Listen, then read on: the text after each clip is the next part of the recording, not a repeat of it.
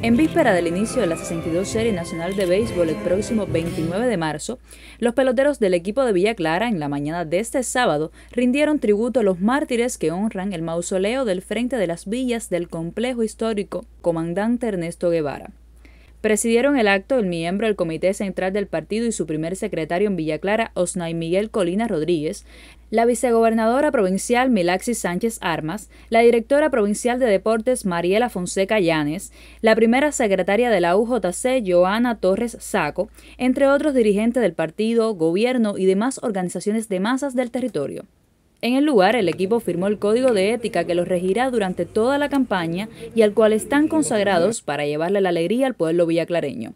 En el Parque América Latina, el conjunto fue abanderado como parte de la formación y educación deportiva de los entrenadores y del sacrificio de los atletas. Cristian Rodríguez García dio lectura al compromiso del equipo. A nuestros mártires y principales dirigentes de la Revolución Cubana, siendo la disciplina, la unidad y la combatividad los pilares fundamentales para tener la meta propuesta el Moncada nos enseñó a convertir los reveses en victoria.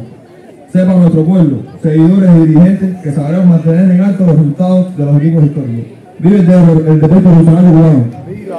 Junto a nuestro presidente Miguel Díaz Canel, a mejor le ponemos corazón. El documento se convertirá a partir de hoy en el compromiso a seguir por todos los integrantes del equipo ante el partido, el gobierno, el INDER y el pueblo de Villa Clara.